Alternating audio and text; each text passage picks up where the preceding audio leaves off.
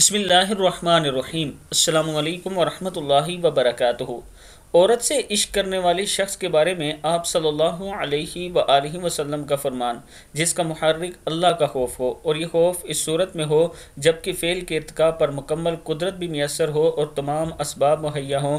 किसी किस्म का कोई रुकावट भी मौजूद ना हो, ख़ास तौर पर उस वक्त जबकि शहबत सादक भी पाई जाए ये दर्जा सिद्दीकीन का है। इसलिए सरकार दो आलम सल्लल्लाहु अलैहि वसल्लम ने इरशाद फरमाया, जिस शख्स को इश्क हुआ और इसने पाकदाम ने इख्तियार की अपने इश्क को छुपाया, फिर मर गया, वो शहीद है। यानी आप अगर जना से बच जाते हैं, आपके पास सहूलत भी हो, कोई रुकावट भी ना हो, और औरत भी मौजूद हो, लेकिन सिर्फ़ अल्लाह के खौफ की वजह से आप बच जाते हैं तो आपको अल्लाह ताला इसका बहुत बड़ा दर्जा देता है। अल्लाह ताला हम सबको इस पर अमल करने की तोफ़ी दे।